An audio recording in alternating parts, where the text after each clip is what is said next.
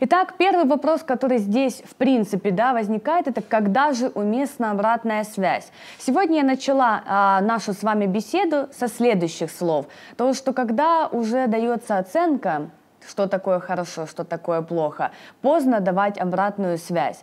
Обратная связь – это мощный инструмент как для руководителей, так и для HR-департамента понимать, а, первое, да, настроение коллектива, слышать, а, что у них на душе, как они понимают задачи, цели, ценности а, компании, куда они собираются двигаться дальше – Второе – это важный инструмент исправить или подправить ту или иную деятельность человека в нужный момент, пока он еще только на пути реализации, анализа, research а да, какой-то задачи либо проблемы. Не дотягивайте до того момента, когда он уже ее завалит. Если вы видите, что как-то сотрудник двигается не так, опять-таки у вас есть возможность не кричать а, благим русским, да, что ты все делаешь не так, я ожидал, ты сделаешь лучше сам и так далее и тому подобное. Встретитесь с человеком, спросите, почему он выбрал именно вот такой путь решения задачи, послушайте аргументацию, попытайтесь задать наводящие вопросы и дайте какую-то обратную связь, как бы вы сделали, либо как раньше поступали. Спросите, что думает об этом сотрудник.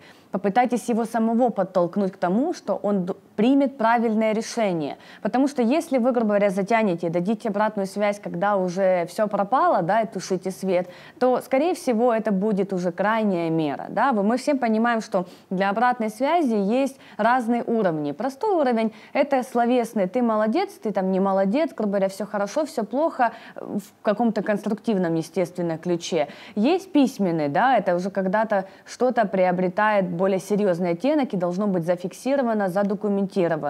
И, безусловно, самый верхний уровень — это когда уже есть потери, финансовые, эмоциональные, когда выговор происходит при всем коллективе. А моя рекомендация к вам, естественно, делать все, чтобы вы не доходили до третьего уровня. Очень важно оставаться максимально возможным способом на первом уровне, когда в личной беседе тет-а-тет, один на один, в комфортной обстановке вы можете донести сотруднику свое мнение о каких-то его реальных действиях.